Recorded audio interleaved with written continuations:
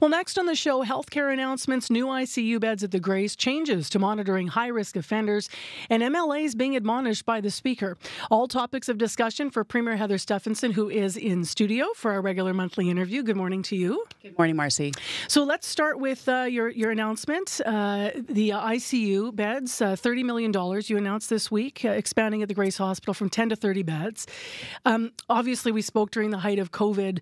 Uh, you, you were asked about reopening ICU beds at that time that had been previously cut by the government. Um, why now uh, for the timing of this now? So, certainly, this is something that the Grace Hospital has been asking for. And I was at the foundation dinner last fall and made this commitment then. And so, we're just following through on that commitment. It's definitely needed in the community. And so, um, we think that this is a, a, positive step forward for the Grace Hospital. Um, staffing, and I know you've addressed this a little bit, but staffing ER especially takes time, takes training. Uh, you have a plan to add 2,000 healthcare professionals to the system. I know right now they're retaining um, what we have is is you know of paramount paramount importance. Uh, where are the workers specifically to staff these beds? What's what's the plan for that? Yeah, so this will um, this is uh, 30 million towards the construction of the ICU unit, and um, so this is more on the capital side. But obviously, um, they will come up with what is needed on the health human resources side. We've already announced our 200 million uh, dollars towards 2,000 more healthcare professionals, which we've all also like um, already recruited almost 800 healthcare professionals uh, to date just in the last five months. So we're well on our way there, um, and uh, and obviously those resources will come out of this and in, in our recruitment, uh, retention, and training efforts. Um, any concern that sort of the uh, while the capital investment is uh, is a, is a step forward, obviously any mm-hmm. beds is going to be welcome. The, the nightmare is that they're going to sit idle because you can't, the staffing won't catch up because we're in such a shortage. Well, again, it's going to take time to build these um, these suites. So between now, I don't believe the construction is starting until uh, next summer, and so there is time again for that recruitment training. Um, and I know the WRHA did address that issue at the uh, news conference that day. Um, I want to uh, talk about uh, what was uh, announced yesterday by uh, by the opposition. Um, the the NDP yesterday came out talking about something that will relate back to your government here. So they outlined rural health care yesterday. one of their promises was to reinstate a program where medical students would get cash in exchange for practicing in rural communities upon graduation. Um, I know that you ended that program in 2017.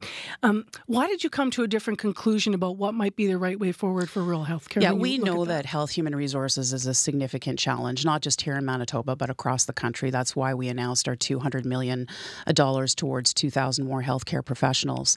Uh, just the other day, there was an RFP out um, by Shared Health uh, to recruit 150 um, healthcare professionals to rural communities and northern communities as well. So we're already working towards that. Uh, so much of what the NDP announced is already in, in progress. And uh, so I, I think it's important to know that in southwestern Manitoba, we have, you know, Brandon, which is going to become a healthcare hub. We were out making announcements on further, on more, you know, cancer care um, out in that community, in, in more um, healthcare closer to home in, in those communities. So much of what uh, they announced we're already doing, and, and we know in the past they closed almost 20 rural ERs in the past and uh, when they were in government before. And so we can expect more of, of that uh, if they get into power again. Um, the, the program you ended, though, I'm just curious around the thinking around what will work because both of you are going to come up with different solutions for what will work in rural Manitoba. So the the uh, the incentives for the students um, to, to stay in practice is that still something you feel is uh, is is not the right way to go to retain workers in those rural areas? You well, talked I, about some of the other directions. Yeah, we we have an RFP out. Uh, Shared Health does uh, right now to recruit 150 healthcare professionals to rural and northern communities. So those will have you know various incentives for you know on the recruitment side, and uh, so we'll we'll see you know what that looks like uh, moving forward. But I think we're already moving in that direction to ensure that we have those healthcare professionals working out in, in rural and northern communities. Uh, what else is uh, is key to your uh, to to to your plans to improve uh, access to healthcare in rural Manitoba? So obviously, I mean, again, we're looking at uh, capital infrastructure, 1.2 billion towards a new hospital in Neepawa, in uh, Portage La Prairie, um, making Brandon uh, a hub for uh, southwestern Manitoba to ensure that um, people have access closer to home so that they're not having to come into Winnipeg all the time. And so we're already putting those mechanisms in place. Health Human Resources, big part of that, which we've just talked about. Um, so we have uh, a very definitive plan to ensure that those those healthcare resources are there in, in rural and northern communities where they're needed. Um, should smaller um, people might hear the Brandon Healthcare Hub, uh, hub in two ways. On one hand, as you said, it could be seen as a positive thing, not having to come to Winnipeg. Mm-hmm. But there could be smaller people living in small towns all around thinking, does that mean I'm going to be losing what access I have? Because we have been doing stories about already ERs and access being lost in those, you know, individual smaller centers. Will people expect more losses to their immediate communities and, and having to be prepared more to travel? No, I, I think, you know, what it is is rather than having to come in for various diagnostic procedures into Winnipeg, that they'll be, be able to have that health care access closer to home. You can't have all things in all communities, but but our whole thing is about keeping people closer to home. Your government yesterday said it would bolster supervision of offenders who are out on bail or probation. How do you hope that will improve uh, public safety? Well, first of all, we need to ensure that there's bail reform with the federal government, and so we're still calling on that. Um, I did, as my in my role as uh, the chair of the Council of Federation, all the premiers across the country, uh, working with the Canadian Association of Chiefs of Police as well. Danny Smyth is the chair of that.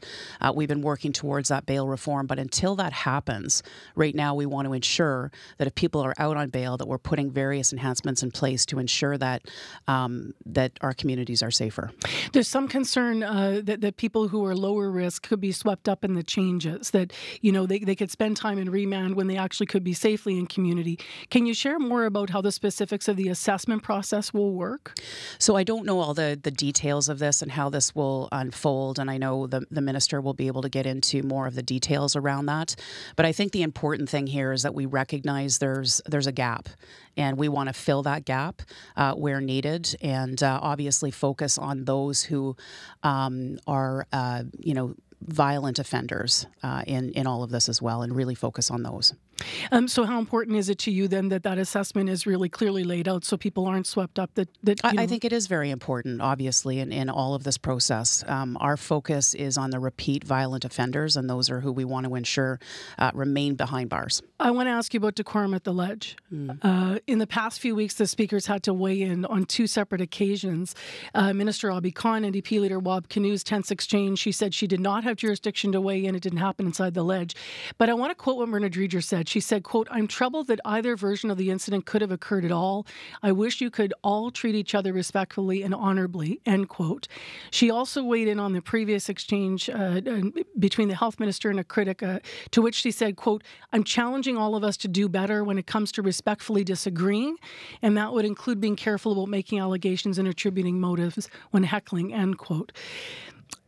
How do you feel at the ledge? I mean, in terms of I guess how should Manitobans feel?